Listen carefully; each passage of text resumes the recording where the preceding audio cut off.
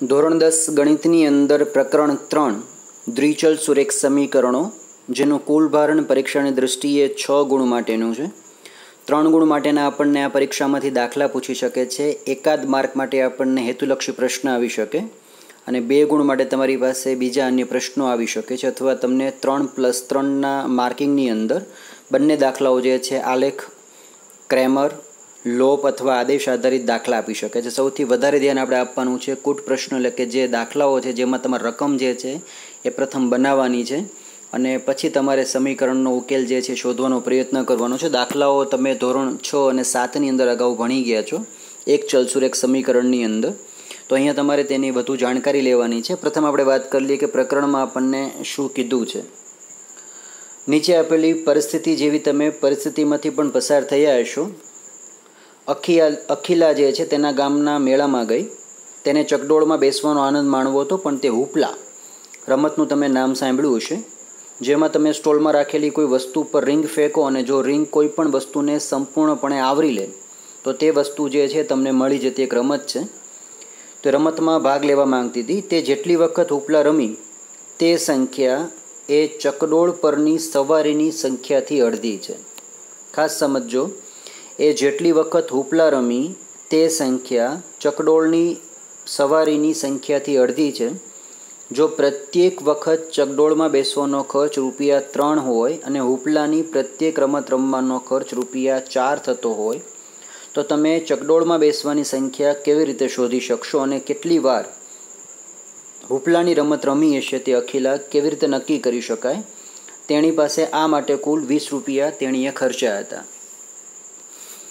કદાચ તમે વિવિધ સ્થિતિમાંથી વિચારણા કરીને અજમાવી શકો છો કે જો તેણે એક વખત સવારી કરી હોય, તો તેવું શક્ય છે?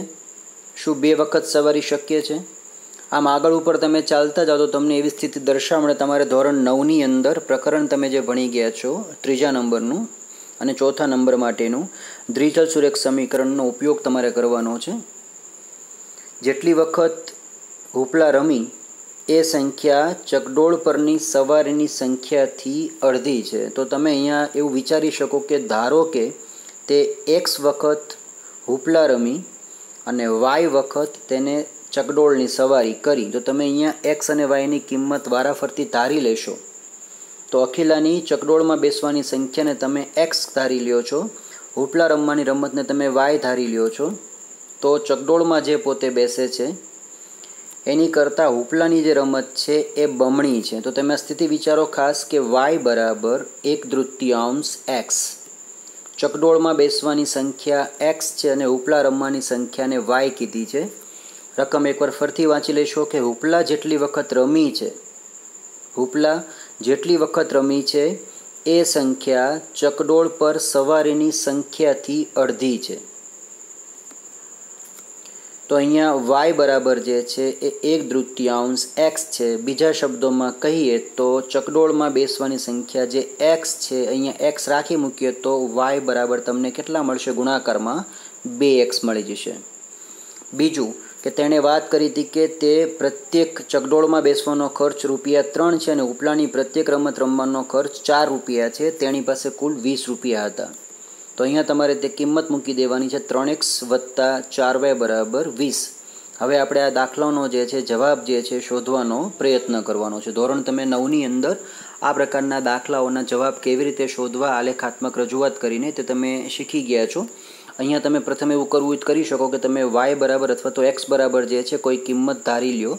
ઉદાહરણ તરીકે ઝીરો, એક, બે, માઇનસ એક, પ્લસ એક, પ્લસ બે. એ કિંમત તમે ધારીને વાયની કિંમત શોધો. ત્યારબાદ તમે અન્ય અહીંયા સમીકરણ બીજું જે છે એક્સ અને વાય માટે તમે કોઈ કિંમત ધારો અને તમે સમીકરણનો ઉકેલ લાવો, તમારી પાસે પછી જ્યારે આ પ્રકારની કિંમતો બને છે, જે તમે ધોરણ નવની અંદર આવું ક્રામ આલેખાત્મક રજૂઆત કરી ગયા હતા એક્સ અને વાય તો તમને અહીંયા જે કિંમત મળે છે કિંમતનો તમે ઉપયોગ કરીને પછી સમીકરણ જે છે એ યાદ રાખીને આલેખાત્મક રજૂઆત કરતા હતા, ગ્રાફ દોરતા હતા અને જે ગ્રાફ દોર્યા પછી ગ્રાફની અંદર જ્યાં આ બંને રેખાઓ છેદતી હશે પરસ્પર. એ ભાગ તમારો ત્યાં જવાબ બની જતો હતો. એ ધોરણ નવમાની અંદર તમે આજે શીખ્યા છો વસ્તુ. એ ખાસ યાદ રાખશો કે જેમાં તમે અહીંયા એક વસ્તુ યાદ રાખવાની છે કે તમે કિંમત જે છે આની અંદર એક્સ અને વાયની એ અસંખ્ય કોઈ પણ કિંમત ધારી લેશો, તો પણ તમારો જવાબ જે છે એ અહીંયા આવશે અનન્ય. આ વસ્તુ તમને ધોરણ નવમાં પણ ત્યારે વાત કરી હતી. કે આવા કોઈ દાખલામાં તમે એક્સ અને વાયની કિંમત કોઈ પણ ધારો, તમારો ઉકેલ જે છે અનન્ય આવે છે. તો ઉકેલ શોધવાની રીતો ઘણી બધી છે. તો આપણે એ પ્રકરણની અંદર આ બધી રીતોનો ઉપયોગ કરવાના છીએ. પ્રથમ વાત કરીએ કે દ્વિચલ સુરેખ સમીકરણ છે શું? ધોરણ નવનો અભ્યાસ યાદ કરી લઈએ. જેમ કે સુરેખ સમીકરણ તમને અહીંયા આપેલું છે બે એક્સ વત્તા ત્રણ વાય બરાબર પાંચ. આ દ્વિચલ એટલે કે એમાં બે ચલ છે.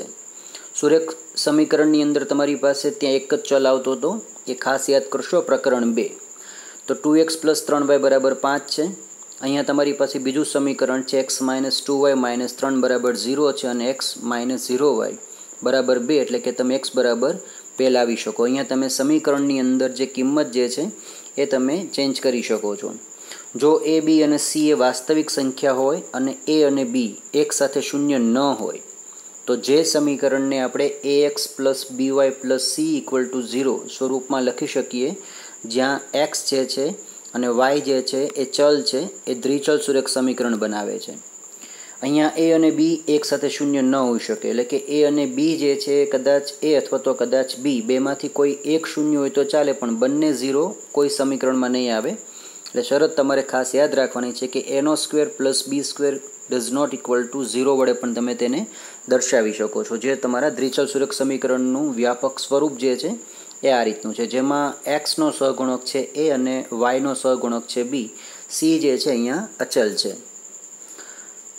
આવા સમીકરણના ઉકેલની, ઉકેલના મૂલ્યોની એક એક્સ અને બીજો વાય એમ એક જોડ મળે અને તમે સમીકરણની બંને બાજુઓ સમાન બનાવો છો. ઉદાહરણ તરીકે સમીકરણ જે છે two x plus three y બરાબર પાંચની તમે ડાબી બાજુએ જો અહીંયા એક્સ બરાબર એક અને વાય બરાબર એકની કિંમત મૂકી દો તમને તો જવાબ મળશે ત્રણ વત્તા બે બરાબર પાંચ. સમીકરણની બાજી, જમણી બાજુ જે છે, એ ત્યાં તમને કિંમત અહીંયા પાંચ મળી જાય. તેથી એક્સ એક અને વાય જે છે એક, એ બે એક્સ પ્લસ ત્રણ વાય બરાબર પાંચનો એક ઉકેલ છે. હવે જો આપણે એક્સ બરાબર એક અને વાય બરાબર સાતની કિંમત લઈએ તો તો અહીંયા બે એકા બે અને ત્રણ ગુણ્યા સાત એટલે કે સાત તેરી એકવીસ વત્તા બે એટલે તમને ટોટલ મળશે અહીંયા ત્રેવીસ. જે સમીકરણની જમણી બાજુ બરાબર નથી, આપણે અહીંયા પાંચ લાવવા એટલે તમારે સમીકરણનો ઉકેલ એવો લાવવાનો પ્રયત્ન કરવાનો છે કે ડાબા જે પદ છે, બરાબર જબા પદમાં આવી જતું હોય. તો અહીંયા એક્સ બરાબર એક અને વાય બરાબર સાત, એ બે એક્સ પ્લસ ત્રણ વાય બરાબર પાંચનો ઉકેલ નથી. ભૌમિતિક રીતે આનો અર્થ એ થાય કે બિંદુ એક એક જે છે, ચરણ જે છે, આનું પ્રથમ આવશે આલેખમાં. પ્રકરણ ત્રણ તમારું ધોરણ નવમાંનું. ખાસ યાદ રાખશું કે જેમાં પ્રથમ ચરણ છે.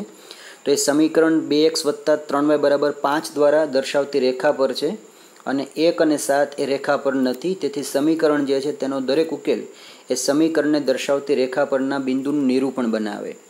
હકીકતમાં કોઈપણ સુરેખ સમીકરણ માટે સત્ય એ છે કે a x plus b y plus c બરાબર ઝીરોનો પ્રત્યેક ઉકેલ જે છે એક્સ વાય એ સમીકરણને દર્શાવતી રેખા પરના કોઈ બિંદુને સંગત છે.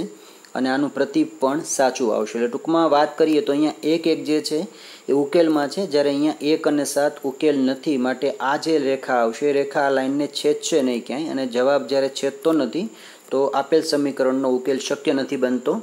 એ ખાસ યાદ રાખવાનું છે. અગાઉ તમને બે સમીકરણ આપેલા હતા. એ સમીકરણ આપણે એકવાર ફરીથી જોઈ લઈએ. તમારી પાસે સમીકરણ છે ઉપલા માટેનું સમીકરણ નંબર એક અને સમીકરણ નંબર બે. તો તમે આના આધારે પણ સમીકરણ જે છે લાવવાનો પ્રયત્ન કરી શકો છો કે એક્સ કેટલા ધારીએ અથવા વાય કેટલા ધારીએ તમને એક્સની કિંમત વન અપોન ટુ જેટલી મળે. અહીંયા પણ બંનેની કિંમત એવી વિચારશો કે જવાબ તમારો વીસ આવી જવો જોઈએ. તો એના માટે તમારી પાસે વાત અહીંયા એ થશે. કે આ સમીકરણો અખિલાની મેળાની મુલાકાત વિશેની માહિતી એક સાથે દર્શાવે છે. તો બંને સુરેખ સમીકરણની અંદર એક્સ અને વાય માત્ર બે ચલ છે. આ સમીકરણને આપણે કહેવામાં આવે છે દ્વિચલ સુરેખ સમીકરણ. કે જ્યાં એક્સ અને વાય દ્વિચલ સુરેખ સમીકરણ યુગ્મનું વ્યાપક સ્વરૂપ જે છે એ a one x plus b one y plus c one equal to zero અને સમીકરણ બે માટે a two x plus b two y plus c two zero છે. એટલે કે અહીંયા એ a one b one c one a two b two અને C two બધી વાસ્તવિક સંખ્યાઓ છે. ખાસ યાદ રાખશું કે એ વર્ગ વન બી વર્ગ one not equal to zero અને a two square plus b two square not equal to zero અગાઉ વાત કરી તે પ્રમાણે આપણને કે અહીંયા એ અને બી જે છે, સમીકરણની અંદરની જે વાત કરી હતી એ અને બી એ એક સાથે ઝીરો હોઈ શકે નહીં. એ અહીંયા બતાવી દીધું છે. તો દ્રિજલ સુરક્ષા સમીકરણના કેટલાક ઉદાહરણ તમને નીચે આપેલા છે, જેમાં તમે ઉકેલ લાવવા પ્રયત્ન કરી શકો છો, જેમ કે બે એક્સ વત્તા ત્રણ વાય ઓછા સાત બરાબર ઝીરો, નવ એક્સ ઓછા બે વાય વત્તા આઠ બરાબર ઝીરો, પાંચ એક્સ બરાબર વાય, માઇનસ સાત એક્સ પ્લસ બે વાય પ્લસ ત્રણ બરાબર ઝીરો, એક્સ પ્લસ વાય બરાબર સાત અને સત્તર બરાબર વાય. તો શું તમે જાણો છો કે ભૌમિતિક રીતે તે શું સૂચવે છે? યાદ કરીએ ધોરણ નવની અંદર આપણે ભૌમિતિક રીત એટલે કે આલેખની રીત દ્વારા તેનો અભ્યાસ કર્યો હતો કે દ્વિચલ સુરેખ સમીકરણ જે છે એક રેખા નિર્દેશ કરે છે. તો શું તમે હવે કહેશો કે દ્વિચલ સુરેખ સમીકરણ યુગ્મનું આલેખાત્મક સ્વરૂપ કેવું દેખાય? તે બે રેખાઓ એકસાથે દર્શાવાશે.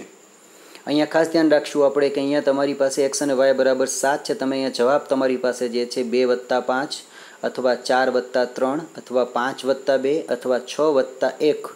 બરાબર અહીંયા સાત થઈ જવા જોઈએ. એવી જ રીતે અહીંયા સત્તર માઇનસ જે છે, માઇનસ સાત, સોરી, માઇનસ દસ જે છે બરાબર સાત થઈ જવા જોઈએ. તો આપણે તમે અહીંયા કિંમત જે છે એ સંખ્યા ધારી શકો છો. ઉકેલ તમારો ત્યાં અનન્ય રહેતો હોય છે. તો ધોરણ નવમાં તમે શીખ્યા હતા કે સમતલમાં બે રેખાઓ માટેની ત્રણ શક્યતાઓ પૈકી એક અને માત્ર એક સત્ય હોઈ શકે કે બે રેખાઓ જે છે એ એક બિંદુમાં છેદ છે અથવા બે રેખાઓ છેદતી નથી એટલે કે તે પરસ્પર સમાંતર છે.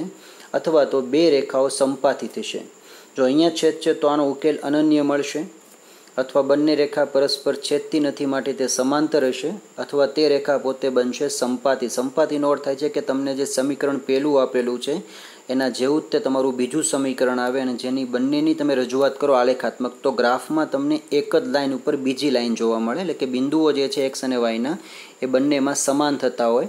તો આકૃતિઓ જે તમને બતાવી છે, દરેકમાં એ સંપાતી છે. આ સમાંતર છે અને આ છેદતી આકૃતિઓ છે. તો આ સાથે તમને અમુક પ્રશ્નો જે છે, ધોરણ સાત, છ અને આઠ તથા નવ આધારિત તમને આપેલા છે આ સાથે, અલગથી તમને મોકલેલા છે. તો આ સવાલોના જવાબ જે છે તમારે શોધવાનો, પ્રયત્ન કરવાનો છે, જેથી તમારું આ ચેપ્ટર જે છે તમે સરખી રીતે સમજી શકો. બીજું કે હવે પછીના વીડિયો સેશનમાં તમે કોઈ પણ દાખલો સમજો તેની સાથે તમારે વીડિયો જોતી વખતે એક નોટબુક જે છે, રફ નોટબુક સાથે રાખવાની છે. જેથી તમે નોટબુકમાં તે ગણતરી કરી શકો અને તમારા જવાબ જે છે તમે ચકાસી શકો.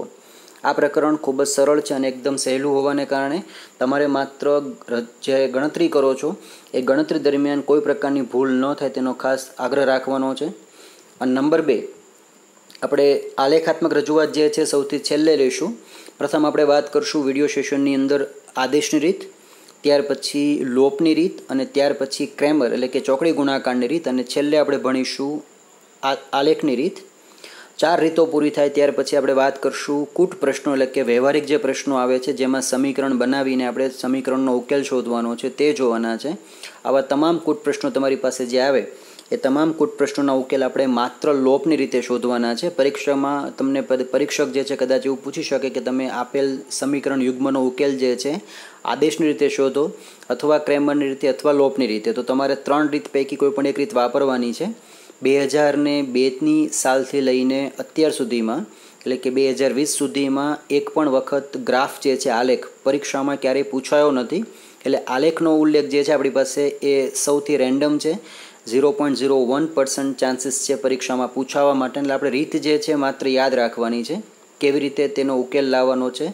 તેની ઉપર બહુ ફોકસ એટલે કે ભાર નથી આપવાનો.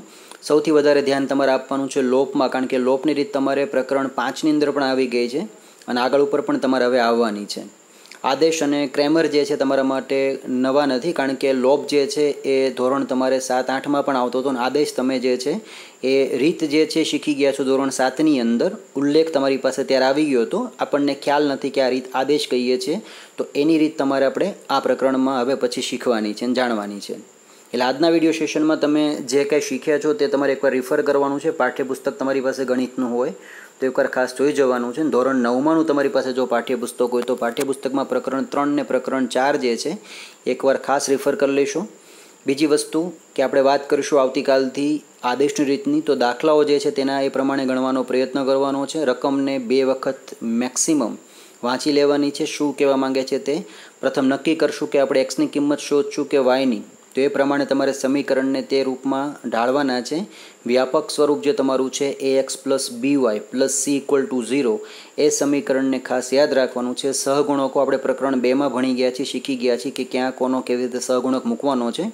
નિશાનીમાં ભૂલ ન થાય તે ખાસ જોવાનું છે. ત્યાર પછી તમારે દાખલાના ઉકેલ શોધવાના છે. આપણે જે દાખલા આદેશથી ગણશું, એ જ દાખલા લોપથી ગણવાના છે અને એના એ જ દાખલા આપણે ક્રેમરથી ગણવાનો પ્રયત્ન કરશું. જવાબ જે છે, દરેકમાં સરખો આવશે. અને અંતે આપણે દાખલો પાછો. આલેખની રીતથી ગણશું, જેથી જવાબ તમારો જે છે તેમાં સમાન લાવી શકાય. આ સાથે આપણા વેદના વિડીયોની અંદર આપને કોઈ શબ્દ સંકલ્પના અથવા કોઈ વિગતમાં ખ્યાલ ન આવતો હોય તો ચોક્કસથી આપ મને વોટ્સએપ કરશો.